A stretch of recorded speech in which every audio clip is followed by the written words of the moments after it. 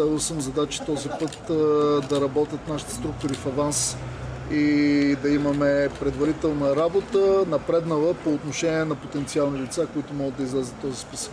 Така че такива са и моите очаквания да се увеличава.